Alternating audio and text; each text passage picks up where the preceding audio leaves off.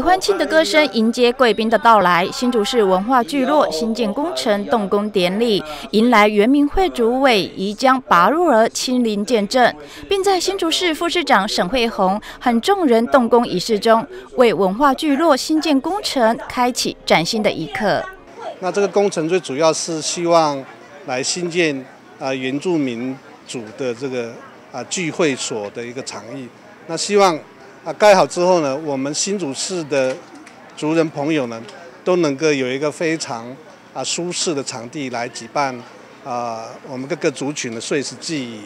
啊，包括我们平时很多要讨论严密的事物，也都在这个地方来讨论严密的事物。同乡会办活动，还有甚至连一呃族语的传承的教室都可以在这个地方来来做，甚至我也鼓励我们的教会。包括我们的文件站都可以来利用这个很好的场地。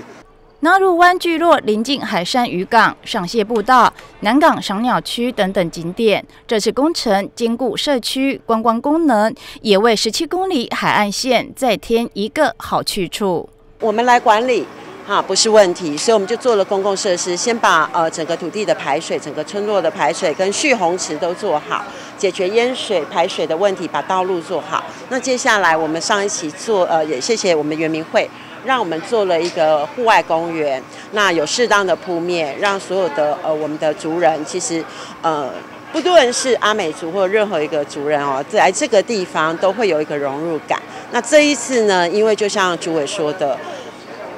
部落里面的布屋其实很重要，所以不只是所有信仰的中心，也是大家一起商量大事发生跟决定的一个地方。新竹市文化聚落在新竹市平地原住民议员林慈爱多年争取，终于看到开工的这一刻。期望这里不仅是原住民活动场所，更是族群融合、欣赏夕阳美景的最佳去处。文化聚落的真正含义呢，就是。我们所谓的呃集会所或者是活动中心，那未来呢这边会新建这个圆形的广场来办理这个碎石记忆或者是呃各个族群的一个大活动或小活动哦，还有观景台可以看到我们前方的海景哦，以及我们大型的溜滑梯，小朋友可以来这边玩游戏，呃接触大自然。再来我们楼下呃一楼会有一个这个所谓的教室，未来文化健康站呢，或者是呃一些教。会或者是呃许多族人要开会的地方，也可以利用这样的一个场所。所以呃，那罗部落这个文化聚落的产生呢，的确是给予新竹市族人非常大的一个福音哦。